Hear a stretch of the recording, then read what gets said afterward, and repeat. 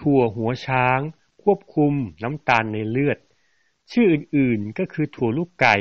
ถั่วชิกพี มีสองชนิดก็คือดอกสีม่วงและดอกสีขาว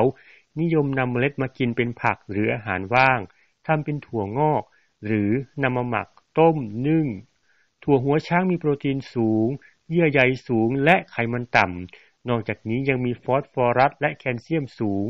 แป้งจากถั่วหัวช้าง มีผลต่อการเพิ่มระดับน้ำตาลในเลือดต่ำ ช่วยควบคุมน้ำตาลในเลือด เหมาะสำหรับผู้ป่วยโรคเบาหวาน และผู้มีภาวะดื้ออินซูลิน นอกจากนี้ยังช่วยให้ระบบขับถ่ายปกติ ป้องกันโรคท้องผูก โรคกระเพาะในลำไส้ ขอบคุณที่มาจากหมอชาวบ้าน